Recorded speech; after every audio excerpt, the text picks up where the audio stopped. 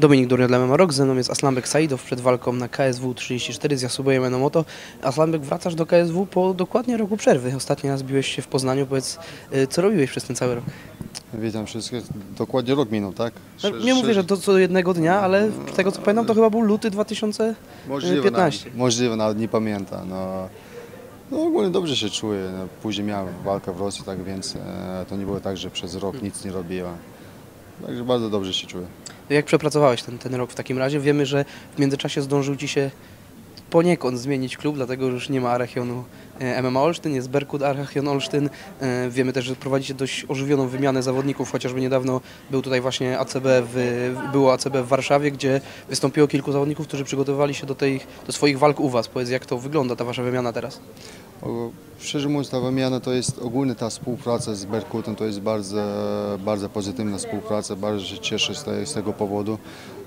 Bardzo duż, dużo, bardzo dobrych zawodników przyjeżdżają tutaj do nas, a nie mieliśmy jeszcze takiej, e, tak, nie mieliśmy takich możliwości, że możliwości może mamy, ale że nie było jeszcze tak, że od nas ktoś tam pojechał, ale dużo do nas przyjeżdżają, pomagają nam, my im pomagamy, przygotowują się u nas i to jest taka fajna współpraca. No to ostatnio ACB w, w Warszawie tak samo pokazało tam kilku zawodników, bardzo dobrze zawalczyli, którzy przygotowywali się u nas. A propos tej wymiany, czy Ty dzięki temu właśnie skorzystałeś, chociażby przed tym pojedynkiem, udało Ci się e, znaleźć takiego zawodnika, który byłby podobny stylem do Enomoto? Tak, e, właśnie nie powiedziałbym, że tak, po- no tak mniej więcej podobnym stylem. No powiem, że tak jest jeden zawodnik, no naprawdę, z którym robiłem sparingi e, i bardzo, bardzo fajnie to wychodziło. No, to jest trochę podobny styl, wzrostowo tak samo wygląda, tak gabarytowo tak samo, więc e, fajnie, no tak, taki jeden chłopak był, tak, z którym wykorzystałem go tak jako sparring partnera. Jasubej to taki półśredni, który w tym, tej czołówce europejskiej przewija się od wielu lat. To naprawdę jest nazwisko, które e, myślę, że wielu zna, chociażby w Rosji to jest wielka gwiazda e, MMA. Tam występował na galach M1 i naprawdę jest bardzo rozpoznawalnym zawodnikiem. Czy ty już wcześniej obserwowałeś go, bo wiedziałeś, że możliwe, że się kiedyś spotkacie?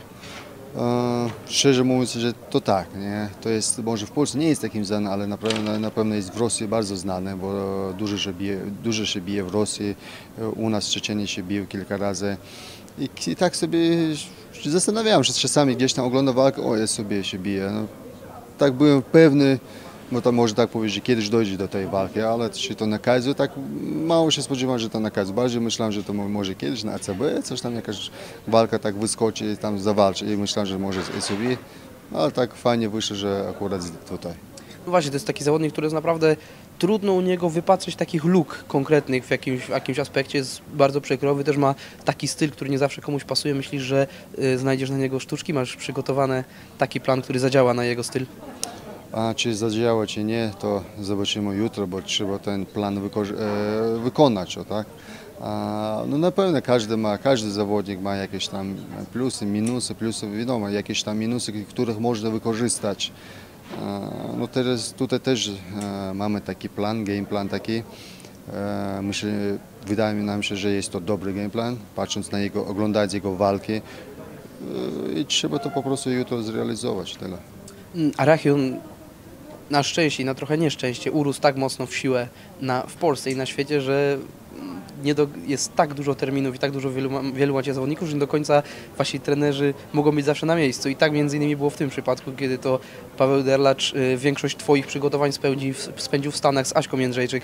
Czy Tobie nie doskwierał brak, brak trenera? Powiedz, jak sobie radzicie w takich momentach, kiedy no wiadomo, że jest jeszcze Szymon Bońkowski, on już od dawna też i Was tarczuje i tak samo stójkę, stójkę prowadzi, ale czy nie doskwiera brak tego trenera? E, powiem, że tak, e, szczerze mówiąc, tak, to w ostatnim czasie tak jest, że ta, tak wyszło, że e, najpierw Szymon, później Paweł, ale on jest zawsze takie, to jest taka współpraca, ogólnie mówię o trenerów, to jest taka współpraca, zawsze są w kontakcie i co i jak mają zrobić, także to zawsze jest lepiej, jak jest dwóch na miejscu, razem siedzą, razem obserwują gdzieś jakieś nawet na sparingach, gdzieś minusy, co jak robić, ale tutaj jakiegoś problemu nie było, nie? Także, także było ok. Głośno się mówiło o tym, ty zresztą też sam wspominałeś, że miałeś się bić na tej gali z e, Borysem Mańkowskim o pas. Czy to, że zawalczysz z Enomoto nie nie przeszkodziło Ci jakoś mentalnie mocno podejść do tego pojedynku, czy nie przeszkodziło Ci w przygotowaniach? Nie, absolutnie. To, to już dużo wcześniej wiedziałem, że już jednak nie zawalczę. Dużo wcześniej. No, na ostatniej Kaizuda wiedziałem, się, że już jednak nie zawalczę z Borysem, bo ma kontuzję z tego, co mi mówiono. Nie, jakoś to mi nie zaszkodziło. Gdyby, bardziej byłem niezadowolony, jakby mi dali jakiegoś takiego e, słabszego zawodnika. No, dali mi NMO, to naprawdę jest bardzo mocny zawodnik, to jeszcze nie wiadomo co będzie jutro, a więc trzeba jutro wygrać tą walkę, jak Bóg da. I zobaczymy, idziemy dalej. Jesteście obaj tacymi zawodnikami, którzy, Ty jesteś bardzo spokojny, też zawsze darzysz ze przeciw- przeciwników z dużym szacunkiem. Jasubej znany jest z tego, że też y, w tych sportach walki szuka też takiego właśnie mentalnego podejścia. Dzisiaj było widać to na, na, na ważeniu, że obaj darzycie się ogromnym szacunkiem, skłoniliście się sobie. Czy Ty lubisz, kiedy właśnie Twój przeciwnik odwzajemnia takie podejście czysto sportowe do, do pojedynku i takie właśnie z duchem, duchem walki? No oczywiście, że tak, nawet e, jak poza sportem, jak ludzie nawzajem z takim pod- podchodzą z takim szacunkiem, to jest fajne, nie? E, ale tym bardziej jak e, taki, tak, w takim sporcie, jak e, zawodnicy podchodzą do, do siebie z takim dużym szacunkiem, to jest bardzo fajne. Ludzie to patrzą, widzą to i mogą nie każdy później będzie myślał, że to jest sport jakiś brutalny czy coś tam, nie, nie ma jakichś granic, a tutaj jednak są granice, są, jest szacunek do nawzajem, więc tak to powinno być. Nie? Będziecie się bić na Polsacie otwartym. Czy dla Ciebie to ma jakiekolwiek znaczenie, y, czy to finansowe, w podejściu takim finansowym, czy załóżmy tego, że nie będziesz tak, y, będziesz oglądany prawdopodobnie przez większą liczbę osób, czy ma to dla Ciebie jakiekolwiek znaczenie, gdzie ta, ta gala jest transmitowana?